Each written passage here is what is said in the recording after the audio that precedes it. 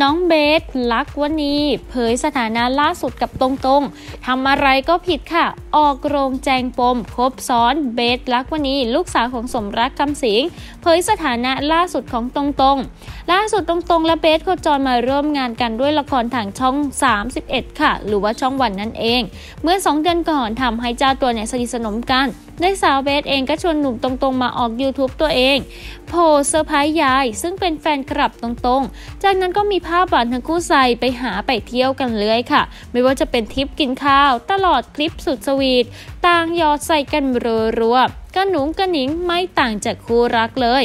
ล่าสุดตรงๆเปิดใจถึงความรักครั้งนี้จุดเริ่มต้นเนี่ยรู้จักกันจากละคร และมีโอกาสไปถ่าย YouTube ด้วยกัน ด้วยความเป็นตัวตนและมีความเป็นธรรมชาติของฝ่ายหญิงทำให้ตนเปิดใจและลองคุยดู ยอมรับเวลาที่อยู่ด้วยกันแล้วมีความสุข แล้วก็ไม่เคยปฏิเสธหากใคร เรียกตนว่าเป็นคนคลั่งรัก ผมไม่ได้หวังอะไรที่ไม่ดีจากน้องนะ ให้แต่ความรักอย่างเดียว น้องให้ผมมาร้อยเปอร์เซ็นต์เพราะฉะนั้นสิ่งที่น้องจะได้กลับไปก็คือได้ใจ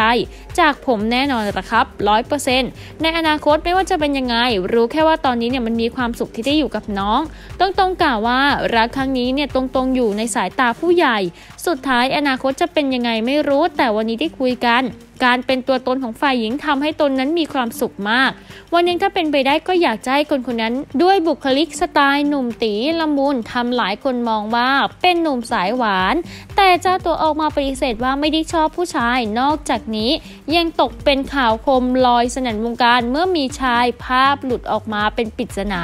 หรือว่าเป็นนักร้องเวทีเดียวกัน ซึ่งคนจับตามองว่าเป็นหนุ่มตรงๆ จากนั้นข่าวก็เงียบหายไป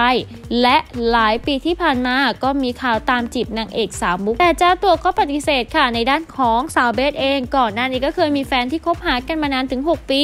แต่ก็เพิ่งเลิกลากันไปไม่ถึงเดือน ด้วยเหตุแฟนหนุ่มเป็นคนหึงหนักและบอกเลิก หลังจากที่เลิกกับตรงๆ ก็เปิดตัวสาวเบสเป็นคนพิเศษ โดยมีกระแสดราม่าที่เธอคบซ้อน move on ไวยูทูบเบอร์สาวไม่รอช้าโพสต์ชี้แจงผ่าน IG Story ยิปบอกเลิกกับแฟนเก่ามาได้เกือบเดือนแถมเป็นฝ่ายที่โดนบอกเลิกถึง 3 ครั้ง และนี่ก็เป็นอีกหนึ่งเรื่องราวที่เราได้นำมาฝากกันค่ะ